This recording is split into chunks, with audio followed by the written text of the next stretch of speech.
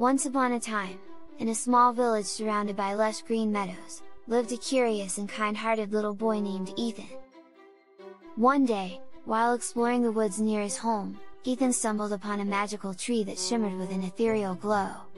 Mesmerized by its beauty, Ethan cautiously approached the tree, and to his astonishment, it whispered to him with a gentle breeze. The tree revealed its secret to Ethan, it possessed the power to grant wishes. However, there was a condition. The tree would only grant wishes to those who approached it with kindness and gratitude in their hearts. Excited and intrigued, Ethan thought carefully about his wish. After much contemplation, he decided that his wish would be for his village to have an abundant harvest, ensuring that no one would go hungry. Ethan returned to the village and shared his discovery with the townsfolk. Inspired by his selflessness, the villagers joined hands to plant and nurture their crops with love and care. They expressed gratitude for the blessings they had and shared what they could with those in need.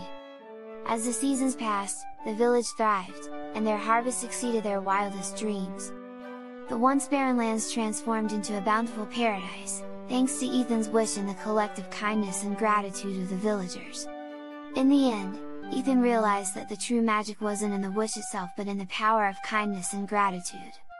He learned that by embracing these virtues, he had the ability to make a positive impact on the world around him. Together, let's nurture the values that will shape our children into compassionate and grateful individuals, spreading kindness wherever they go.